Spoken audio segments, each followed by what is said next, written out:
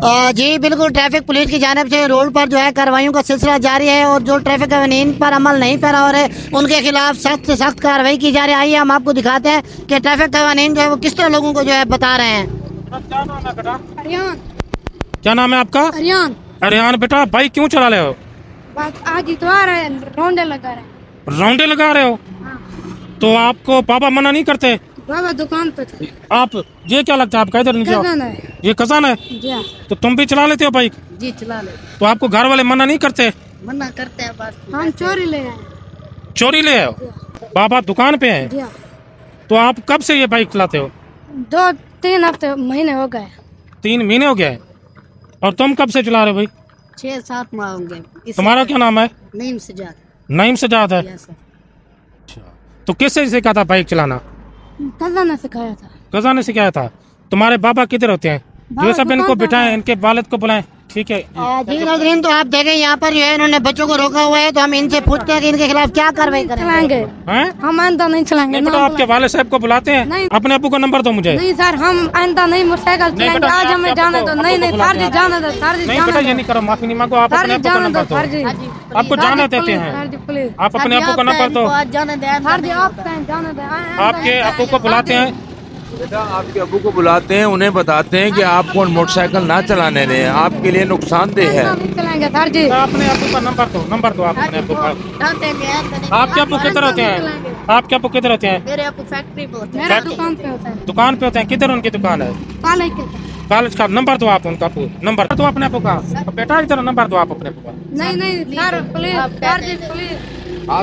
देंगे। बेटा मैं आपके अबू से बात करता हूँ वो आपको इस चीज़ से मना करेंगे। ताकि आपको सर। क्योंकि आपके मोटरसाइकिल चलाने की उम्र नहीं है अभी। आप बहुत छोटे हैं ना आपका शनाख्ती कार्ड आप आप बेटा नंबर दो आपके अबू को हम कहेंगे वो आपको नहीं मारेंगे ठीक है? आप नंबर दो। नंबर दो। जी। क्या नाम है आपके अबू का? हाजी कादर बस। अच्छा सर क्या आप अब इनके खिलाफ क्या कार्रवाई करने जा रहे हैं? कुछ अर्सा पहले तो हम पर्चा देते थे दो सौ उनासी का। लेकिन अभी जो अफसरान वाला का हुक्म है कि ये छोटे बच्चे हैं इनका मुस्तबिल वो ना हो बर्बाद ना हो इसलिए इनके खिलाफ चालान होता है। वो चालान करते हैं जिनका शनाख्ती कार्ड और लाइसेंस नहीं बना हुआ। हाजी कादर बख्श वालेकुम सलाम। हाजी कादर बख्श बात कर रहे हैं। जी ये आपका बेटा है इरियान और दूसरा आपका क्या नाम है बेटा? आपका एक भतीजा है नईम सजाद ये किधर है इस वक्त? नहीं ये घर पे नहीं है। आप किधर हैं इस वक्त? दुकान पे ये दोनों बाइक चला रहे थे। मैं इधर मौजूद हूँ म्यूनसिपल कमेटी के साथ। आप जल्दी से उधर आ जाएँ। ठीक है? आ जाए।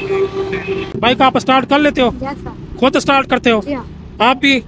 मुझे जरा तुम स्टार्ट करके। तो मेरे बाबा आ गए ये आपके पापा जी हैं। हाँ अस्सलाम वालेकुम। ये आपका बेटा है? जी बेटा। ये आपका भतीजा है? जी सर। तो ये बाइक चलाते हैं इतनी कम उम्र में आपको इनका एहसास नहीं? इनका ख्याल नहीं है कि खुदा ना खास्ता ये कहीं पे कोई एक्सीडेंट हो जाए? सर ये घर पे थे आज पता नहीं क्यों ये मोटरसाइकिल ये मोटरसाइकिल तो मेरे पास थी। किससे जी, लेकर आए कज़न मोटरसाइकिल? मोटरसाइकिल? चोरी ले आए हैं। किससे ले आए? कज़न का? चोरी ले आए हैं। ये कज़न का मोटरसाइकिल ले आए तो आपको इन पे नज़र रखनी चाहिए। सही है किसने बोला था कि कहाँ जाना है आप? हम रौंडे पे आए थे। राउंड तो आप देखें ना आप इनके बाप हैं तो आपको इन पे नज़र रखनी चाहिए बच्चों पे। कि खुदा ना खास्ता सर मैं तो दुकान पे था मैं इनको ऐसे नहीं नहीं भाई बात हाँ, अभी इनको बच्चे ये कुछ कह नहीं है इनको। आप इनको प्यार से समझाएँ इन पे नज़र रखें ताकि ये इस तरह बाइक उठा के बाहर ना घूमे फिरें खुदा ना खास्ता कहीं एक्सीडेंट हो जाए तो फिर आपके लिए पछतावे के अलावा कुछ नहीं बचेगा। ठीक है सर ठीक है। आप ऐसा करें आप अपना चाहें एफिडेविट हमें दें। कि आइंदा ये आपके बच्चे बाइक नहीं चलाएँगे। ठीक। हो गया? अभी आप जाएँ ये अभी हमारे पास इधर मौजूद है। आप जाएँ एफिडेविट एक लिखवा के आएँ। जाए आप मुझे बेटा ये बाइक जरा स्टार्ट करके दिखाओ। कैसे स्टार्ट करते हो? बाइक स्टार्ट करके दिखाओ। कैसे स्टार्ट करते हो? इसको यहाँ पे खड़ा होकर स्टार्ट करते हो? जी तुम कैसे स्टार्ट करते हो? आप कैसे स्टार्ट करते हो? बंद करो इसको बंद करो। स्टार्ट करके दिखाओ।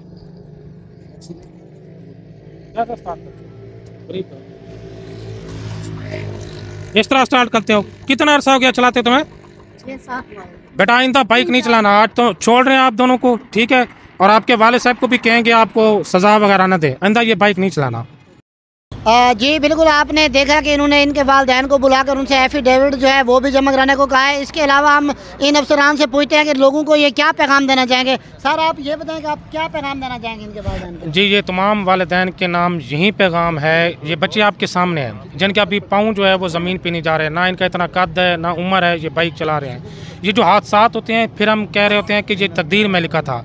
ऐसा नहीं होता, हमारी अपनी गफलत शामिल होती है उसमें। तो हमारी वालदेन से यही गुजारिश है कि अपने बच्चों पर नज़र रखें, उनको किसी सूरत ये बाइक चलाने के लिए ना दें।